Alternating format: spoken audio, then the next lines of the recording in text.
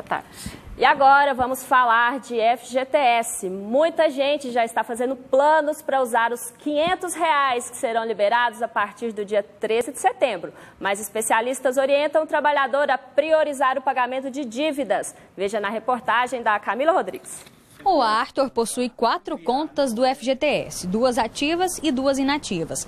Ao todo, ele poderá sacar mais de R$ 1.800, dinheiro que já tem destino certo. Cria um extra, né, que né, uma emergência, e a minha intenção é pegar esse extra ou comprar material escolar, né, ou pagar uma mensalidade da escola, por causa dos meus meninos, são três, então eu vejo dessa forma, vai ser uma ajuda bacana.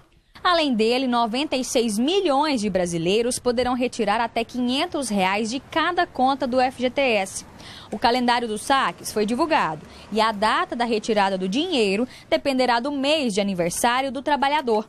Para quem é correntista da Caixa Econômica e faz aniversário em janeiro, fevereiro, março e abril, os saques podem ser feitos a partir do dia 13 de setembro deste ano. Para quem nasceu em maio, junho, julho e agosto, os saques começam dia 27 de setembro. E para quem faz aniversário em setembro, outubro, novembro e dezembro, os saques são a partir do dia 9 de outubro. Para quem não é correntista da Caixa, os saques só podem ser feitos a partir do dia 18 de outubro. O calendário é diferente e pode ser consultado no site ou aplicativo da Caixa.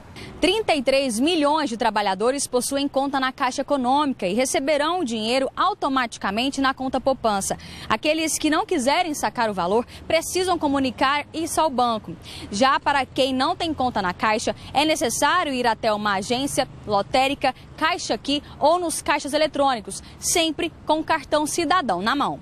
Esse planejador financeiro pessoal explica que é necessário ter cautela na hora de usar o dinheiro extra.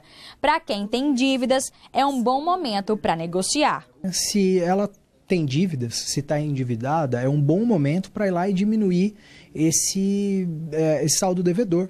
Às vezes até quitar, limpar nome, né? É uma alternativa que você tem para dar entrada. Então, se seu caso é estou endividado, pensa numa estratégia para fazer o bom uso desse dinheiro. Você tem cheque especial e vai cobrir o cheque especial com esses 500 reais. Vai te ajudar? Vai, mas você precisa fazer alguma coisa além do uso desse dinheiro. Você precisa aproveitar a oportunidade e se organizar financeiramente para daqui a pouco não estar tá pegando mais 500 reais e a apagar esse incêndio ali momentâneo.